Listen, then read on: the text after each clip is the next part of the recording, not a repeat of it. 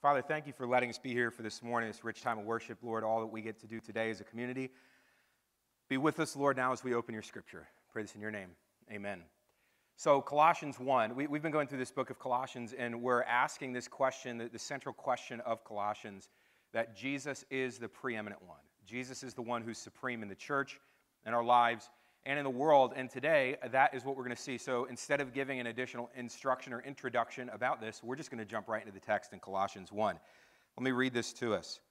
Jesus is the image of the invisible God, the firstborn of all creation. For by him all things were created in heaven and on earth, visible and invisible, whether thrones or dominions or rulers or authorities. All things were created through him and for him. And he is before all things, and in him all things hold together and he is the head of the body, the church. He is the beginning, the firstborn from the dead, that in everything he might be preeminent. For in him all the fullness of God was pleased to dwell, and through him to reconcile to himself all things, whether on earth or in heaven, making peace by the blood of his cross.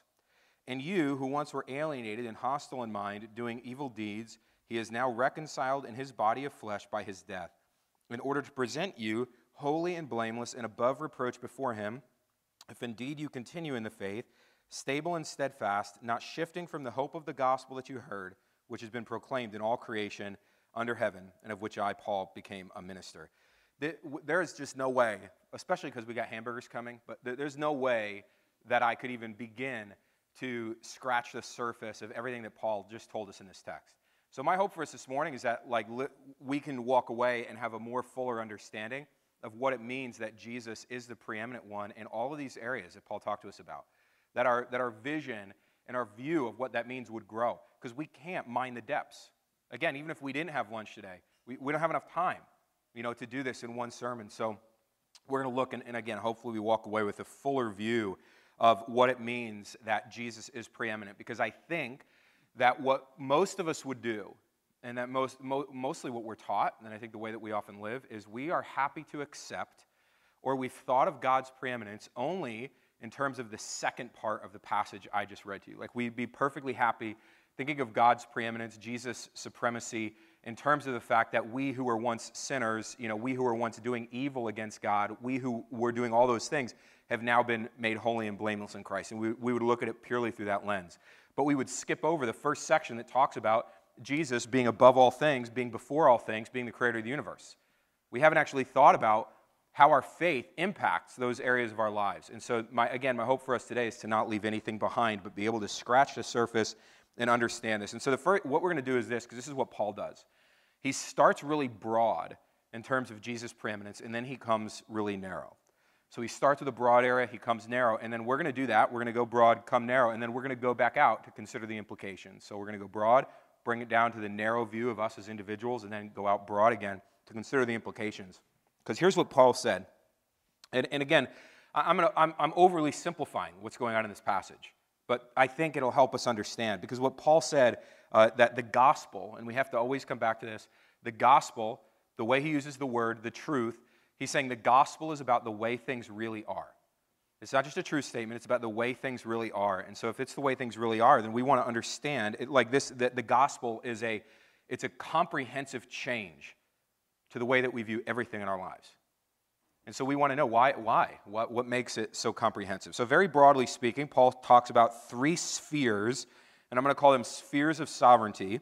Three spheres in this passage. First of all, the sphere of all creation. He is the image of the invisible God, the firstborn over all creation. For by him all things were created in heaven and on earth, visible and invisible, whether thrones or dominions or rulers or authority. All things were created through him and for him. And he is before all things, and in him all things hold, hold together. He's called the firstborn. It doesn't mean like he's the first one created. The word, the word firstborn, the way that it's used here, is more like in the child of a sovereign ruler who's going to receive the inheritance. Like he, like he is the one who is due all the glory, all the supremacy, all the honor is him. It's, it's a play on the idea of preeminence. And you can see this because Paul goes on to say that Jesus, all things were created through Jesus, and all things are created for Jesus. In other words, he's the causal agent of all of creation, but he's also the one who receives all the glory from that creation. He is the one for whom all creation has been made. So, John, in his letter about Jesus' life, or in his account of Jesus' life, begins with that phrase that we've heard. You know, in the beginning was the Word, and the Word was with God, and the Word was God. Nothing has been made that was not made through him. You know, and, and this is this is he's talking about Jesus. And that's typically the place we go. But this is actually all throughout the New Testament, including here. That Jesus was in the beginning the firstborn over all creation, so that nothing was made in the heavens and the earth that weren't made through him visible, invisible, and then he goes on and talks about, you know, rulers, authorities, positions, thrones, not just like the kingly stuff, you know, kings and royalties and, and politicians and leadership in the world that we see today, but he's actually referring to the, the demonic forces in the world, those, those seat of authority in the world that go against Christ and his mission. So all of this, all of it comes from him, not that Christ created those demons, but that he has authority over all of this. And so uh, Jesus is the head that holds the whole thing together. Um, you know, this is, or uh, Paul says this uh, that he's before all things, and in him all things hold together. So he adds that little line. So it's not, not just that all things were created through, by Jesus, not that all were created for Jesus, but that Jesus is the one who actually holds it all together. That Jesus is also the one who's sustaining it.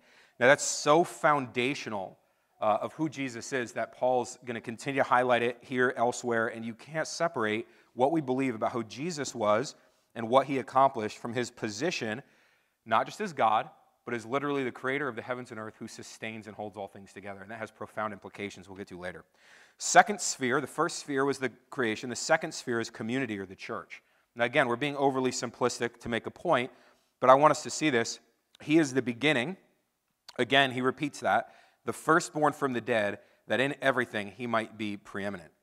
In the New Testament, Jesus' resurrection is presented as the first fruits, or that he's the firstborn, he's the first one. Like our, our life, our eternity, our new life in Christ is guaranteed, our future resurrection guaranteed because Jesus has gotten out of the grave.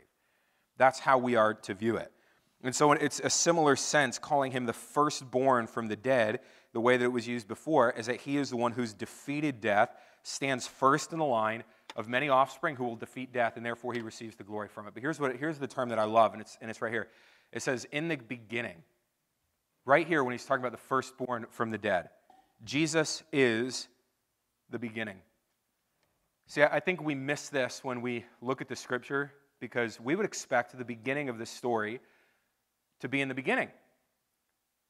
But what Paul is saying to us, and this is incredibly profound for the Christian life, is he's saying actually the beginning starts with Jesus.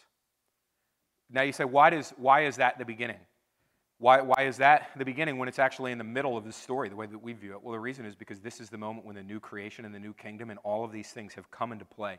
Everything that God always intended for the world begins with Jesus. You, you could make the case that everything that came before it was the prologue to the story.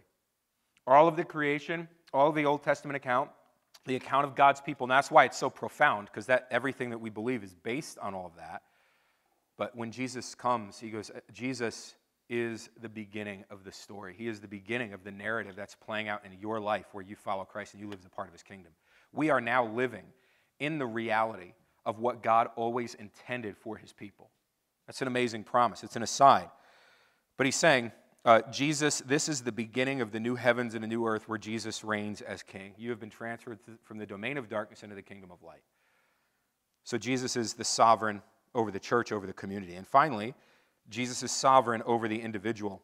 He says this In you, who once were alienated and hostile in mind, doing evil deeds, he's now reconciled in his body of flesh by his death, in order to present you holy and blameless and above reproach before him.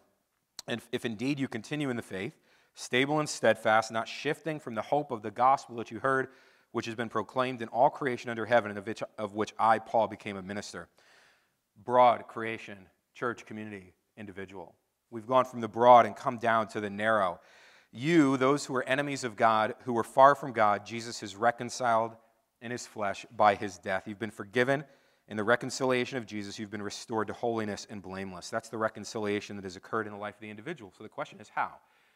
If we start out with these spheres of sovereignty, what was the process of reconciliation? And the instrument of reconciliation in Colossians and throughout the New Testament is the cross, verse 19 to 20. For in him all the fullness of God was pleased to dwell, and through Jesus to reconcile to himself all things, whether in heaven and on earth, making peace by the blood of his cross. This is the center of the reconciliation effort. That Jesus on the cross bore the burdens of sin, reconciles all things in earth and in heaven, making peace by the blood of his cross, reconciling all things. See, we've moved from the broad to the narrow, and right at the center, we see that the instrument of reconciliation was the cross. And Paul says it clearly this is so important all things. Our all things are being reconciled, but our temptation is that we just want to focus on the individual reconciliation that we're offered. And I say it's beyond just our temptation. I would say that the primary message of American Christianity is actually all about your individual reconciliation. And it's too narrow a view. And we miss what God is doing, what He is actually reconciled. Now, it's really important. The reconciliation of the individual is a big deal, but it's only one part of what occurred. Even if we think of it as the central piece of what occurred, it's only one part. It's not the whole story. It's the piece, it's a piece of bringing reconciliation, but it's not the whole story. And when we treat it like it is, we end up with a mentality, and let's see if you've seen this. Okay, when we treat just the individual reconciliation as if that's the whole story, what we do is we end up with a situation that says that we are saved and the rest of the world can go to hell. Like we're saved and the rest of the world can be left to their own devices. We're content to be reconciled to God personally, but we have no desire to see the rest of the world be reconciled around us. So look at the way that many Christians talk, right? We have this very, the world is so bad, it's sin, evil is taking over, and, and it's very defeatist. But they come back and go, but at least I'm saved. Oh well, world's bad, terrible. Hey, but I'm saved. Tough luck for the rest of these guys. We view the world like we were one of the lucky ones to get on the lifeboat as the Titanic was sinking. We got the life jacket, we got in the lifeboat. We're floating out there just watching them. Well, too bad. Too bad for the rest of those people on that boat. They, they should have done better. They should have gotten off like me. I wish they had gotten the message, you know. Even Rose floating out there on her, on her door, she's thinking like, it's fine. Sorry, Jack. Maybe if you had gotten on the door, gotten yourself one, you'd be fine. Everyone else can go down. But what if the cross, what if what Jesus accomplished wasn't about getting you in a lifeboat? What if the cross was about giving you the means and the tools to fix the boat before it sank? It's a very different thing. What if the message of the good news was that Jesus had patched the hole that was caused by the iceberg of sin? And so instead of getting off the ship, you could actually go and begin to repair the damage that was caused because of the iceberg. What, what if that's what the truth of the way things really are actually leads you to? Not you being off the boat going like, wow, that's too bad it's sinking, but you staying on the boat and saying, I, I actually can fix this. I have the means of repair. That in the cross, Jesus has reconciled all of this mess to himself. Your reconciliation, the reconciliation that Jesus brought in you, through his body of flesh is a microcosm of the reconciliation effort that God is doing in the world, and that's the point. You who were once alienated and hostile in mind, doing evil deeds, he's now reconciled. And then look what happens because of the good news. This is what it means that Jesus is the beginning. Jesus is the image of the invisible God. Do you see the connection? Jesus is the image of the invisible God. In the very beginning, in the first pages of Genesis, we are described as being made in the image of God. We are the ones who have been stamped with God's glory and grandeur. We are the ones who have been called to bring what God has done in the garden. God creates this garden, He cultivated it, He grows it, and He says to Adam and Eve, You, as my image, go and make the rest of the world look like this garden. You are my glory, my presence in the world, called to take my glory to the ends of the earth. Adam and Eve blow it. We blow it. But now, in Christ, there is a new beginning. There is a new image that fully and magnificently reflects God Himself, and you are being transformed into it so that the mission you were always given can finally, you can do it now. That's why we say this is really the beginning of the story, because now, for the first time in your life, you have the opportunity to live into the mission that God always intended for you to be the image of God in the world, to bring his glory to the ends of the earth, to reconcile the world to himself. This is the implication of this in our lives. But again, this isn't where reconciliation ends, it's where it begins. So now we work backwards. We've started in the cosmos, we've come to the narrow. Now let's consider the implications for the narrow out to the broad. Implications for the individual. We've actually already read the implications for the individual. If Jesus is the supreme one, he says this if, if, if Jesus, this is Paul's uh, teaching, if Jesus has reconciled you on the cross, if he is the preeminent one in your life, transferring you from being an enemy of God to being holy and blameless, then Paul says this is what will occur in you that this, this transformation will continue to occur if, he says, indeed you continue in the faith, stable and steadfast, not shifting from the hope of the gospel that you heard. Faith is an ongoing process in our lives. Faith is the ongoing process of putting us in a position to continually grow. It's not a one time event. Faith is about living into the reality that we've been transferred from the domain of darkness into the kingdom of light. See, this is why, again, as we go back to this idea of conversion, where, where we narrow down the gospel to a truth statement, and we just say the gospel is that Jesus died on the cross for our sins, when we narrow it down to that, then all we're looking for is conversion, but we're not looking forward to the change that will occur that Christ will bring about in you as a result of reconciling you in his on the cross. Paul's teaching on what is happening to the individual is instructive on what's going to happen elsewhere because it's not just about fixing what was wrong he says to us, He goes, You were hostile to God. Now you are holy and blameless. And this will be a process that goes on you. It's not just about what you were saved from, right? You weren't just saved from blindness and given sight. He goes, You were saved from the domain where blindness ruled to the domain where sight rules, where light rules, where you can see. There's a process that's going to happen as you learn to live in this new kingdom. And that's not just true for individuals, but it's true for the church. So we start with the individual. What are the implications? That you will be continually transformed into the likeness of Christ, who, of whom now is the image of God, through whom all things were created. But then we think about the church. Paul says that Jesus is before all things, and in him all things hold together, and he is the head of the body, the church. This is frightening. What, what Paul's saying is that the church is now, so us sitting in this room, okay, all people who call Christ their Savior, the church is the visible manifestation of the reconciliation that's happening in all of creation. That was a lot of rhyming. I didn't mean to do that, but let me read it again because that was awesome. All right. The church is the visible manifestation of the reconciliation that is happening in all of creation. Whew, that was a good line. Boom. I didn't even mean to do that. That's the Holy Spirit right there. All right. Think about that, though. Think about what Paul's saying. It, see, it's not just, you remember the song, They Will Know We Are Christians by Our Love? It's not just that they know we're Christians. What they're going to know is that God has the power to reconcile the entirety of the cosmos. That when, when people view you, the church, they're going to know that God has the ability to reconcile the entirety of the cosmos because when people look at you, they should say, if God can reconcile those people, then what can't he do? I mean, that's what Paul's saying. He's saying the, the reconciliation that's going to be so profound within the community of the church because Jesus is the preeminent one in the church will be so insane to the world watching you that the world's going to say, if God can bring those people together, then He can bring anybody. He can do anything. I'd go so far as to say that the, the harder problem is the reconciliation of people like you and me than reconciling the cosmos.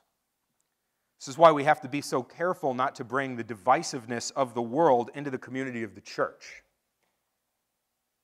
See, we have to be really careful because most of the time it happens and we don't even know it's happening. It's just that we've been so influenced by outside voices, that we've been so influenced by what Paul is going to call deceit. We're not the first church to deal with this. He says to the Colossians multiple times, as we'll see moving forward, he says, The reason I am sharing with you so confidently about the gospel, the reason I want you to be rooted in Christ, is what he says, is so that you will not fall victim to arguments that sound good but are actually lies.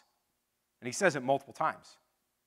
He goes, A lot of you have believed, not you, but the Colossian church, let's just blame it on them. A lot of the people in the Colossian church had believed lies, which sounded really good, but he goes, but they're from the devil. And some of them were flowing from religious leaders. Okay, some of them were flowing from culture. Some of them were flowing from government.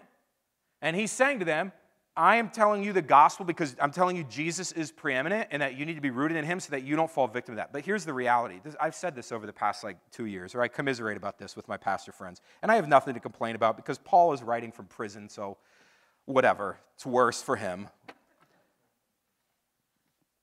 You know, my pastor friends and I, you know, we have, there's 168 hours in a week. I have 30 minutes to share the gospel with you to help focus you on what God is saying to you, to help you examine culture and reality through the lens of the scripture. But then you leave and have 167 and a half hours to fill your mind with whatever else you choose. Most of which is going directly contrary to what God's word says. Whether it's you go home and you turn on your favorite news station, whether you go home and you go on social media into that vacuum of garbage in which only people who agree with you are the voices that you hear? What 167 and a half hours to undo the 30 minutes that you have when you gather around God's word proclaimed. Because listen, the reality is, even if you are the type of person who, who reads your Bible every day, and I know that for most of us, this is the most focused Bible study we have all week. I'm, I'm not blind to the reality. This 30 minutes is the most 30 minutes of focused Bible study that we have in our whole week. But even if you read the Bible, it still amounts to a small fraction of the influence of things that are happening in your mind. Small fraction. I can't tell you how many times, again, this past year, past, to talk to pastors and we call and commiserate because we discover that someone in the church has left because I'm just, well, the pastor's gotten too political. And, and what they, or, well, maybe he's not political enough. Well, I left because the pastor wouldn't endorse a candidate. But those pastors, they're just trying to preach from the Bible. And sometimes the problem is that the biblical view, where Jesus is the preeminent one, conflicts with everything else you're hearing for 167 and a half hours a week. Well, so what do we? So we choose the 167 and a half hours, and we let politics or other views on the world divide us. We go, I can't even worship with those people anymore because they disagree with me on, on some point. That, so, what's preeminent then in the church? If we're going to walk away over differences in how we view society or how we've experienced the world, if we're going to walk away over that, then Jesus is not preeminent in the church. But what are you filling your mind with? This is why Paul's going to say it. He's going to say the arguments that you hear sound plausible, but they're deceit. The church is the example of Christ's preeminence in the world. And we need to be careful that we don't allow the enemy in the world to knock Jesus from the place of preeminence in the church. Which leads us to the last thing implications for the cosmos. See, God, or the creation, see, God has renewed the mission, renewed the beginning of this story, and this time He's placed the ultimate image bearer, God Himself, in the center. So the reconciliation project goes beyond just the individuals or our communities, it applies to our world, it applies to everything that we do. This is why Abraham Kuyper, who was not only a, a Dutch minister around the turn of the 20th century, but he was also a, a, he was the prime minister of the Netherlands, and he said this quote, many people have heard it before. He says, There's not a square inch of the whole domain in which, uh, uh, of human existence over which Christ, who is Lord of all, declares, This is mine. But in fact, that's the phrase that people know. But he begins by saying, He's like, You can't have a duplicitous mind. He goes, You can't think about the world in terms of, well, Christ rules this area as if it's my private faith, but he doesn't rule the rest of the world. He says, so you can't have a duplicitousness of mind in terms of thinking about where Christ is Lord. And then he goes on to say, because there's not one square inch in the whole creation over which God, who's sovereign over all, does not say, this is mine.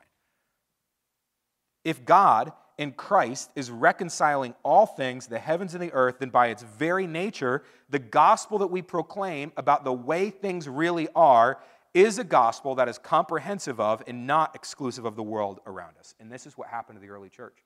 See, the early church began living in such strong community that the reconciliation was happening where they go, hey, there's going to be no one amongst us who has need. We're going to live in community. It was so powerful that as those communities expanded and grew, the world around them was transformed.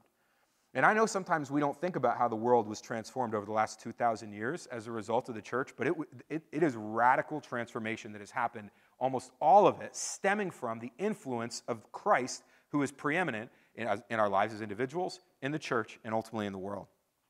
It changed, the economy changed. I mean, we're going to look at this in the book of Colossians because Paul writes a letter to a member of the church. His name was Philemon. Paul writes a letter to him because he says, hey, here's something you have to wrestle with. Because in the New Testament and in the first century, slavery or bond servanthood was not the way that we think about it in terms of the evils in America, where we, you know, slavery was an institution of owning a brother and sister.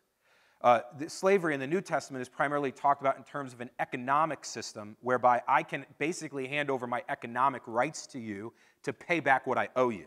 So I could, for example, if I owe you money, say, hey, I'll just come work for you for a little while and you don't have to pay me in order to repay my debt. Or in some cases, people would say, hey, I'll become your servant to a wealthy master because I'm going to have, you'll provide a house for me, you'll provide meals for me, and you'll educate my children. And so a lot of people in, in this economic system were really well educated, even though socially they were considered slaves. But even then, in this situation where there's this economic uh, thing happening, there's some economic regulation that's occurring over this, Paul says, and he writes to Philemon, and we'll see this, he says, Hey, I'm sending back to you somebody who's your slave, servant, bondservant. I'm sending him back to you, and now you, Philemon, are going to have to wrestle with the fact that this guy, this servant, bondservant, is now a brother in Christ. How, what are you going to do? Are you going to let your brother in Christ be your slave? And so the economy was transformed. The, the, the whole economic system was because the Christianity, Christians living in the world decided a system where a person owns another, even if it's just an economic benefit, is a system that degrades the dignity of their humanity. And it, and it changed. Now, for it all to change, it took a long time, and there's a lot of places in the world that it hasn't, but that's the economy. So if Christ is preeminent over all things, we, we need to be willing to ask ourselves, you know, where are the areas of our current economic system that rob people of their dignity? It's way better system than it was in the first century because of the influence of Christ and his preeminence in the world. But that doesn't mean it's perfect. Education changed. Education became something that was available to everyone, not just the elite or the wealthy, through Christian day programs. If you look and you know the history of education in the United States, right? It changed. Like the, the major universities and schools started as a result of the church because the church said we need to know what's happening in the world. That's why Abraham Kuyper, again, to quote him, he, there's, he said, uh, there's no such thing as neutral education. He said, as you, you're either going to teach your family, your children, yourself through the lens of God's preeminence, or you're not, but you can't have it both ways. Either Jesus is preeminent over all things or he's not. The government change, it's not a coincidence that the governing system prior to the coming of Christ was brutal and it was just people taking over and it, and it was you know regimes that would come and whoever had the biggest military and now in most places in the world there's some form of democratic system people's perspective on life in the world changed the world I mean, you look around at the world and people say, the world looks like it's going nuts. And all those things we read about in Revelation, talking about, you know, what the future could look like. We got wars. We got rumors of wars. We got natural disasters. We have, you know, 100-year flooding, that sort of thing going on. You know, we have, we have a, a pandemic, you know, it's a bit of a problem. We have like essentially a civil war going on in American society, not one where we're fighting each other with weapons, but one where we're fighting each other with ideas. And Christians are like, we're doomed. And I get it. I get the weird doom. Oh, oh, oh well. Sorry, world. But Paul says, look, the world might look bad, but here's your assurance Jesus, the preeminent one, is holding all things together. So, how will we live? As individuals, as a church, as we reflect on the world, who's the one in charge? Who's the one who is preeminent? Paul says it's Jesus. What do you say? That's the message of the gospel. Let's pray. Father, I pray that as we scratch the surface of this teaching on your preeminent Son, Jesus Christ, that our lives, our community, our world would be transformed. That we would look at the world not as something that is to be thrown away, but something that's to be transformed. That we would not be discouraged by how far it seems we have to go, but encouraged by how far we've come. Father, be with us, especially as we respond, as we go out into this world. Be with us, Lord, in all that we do.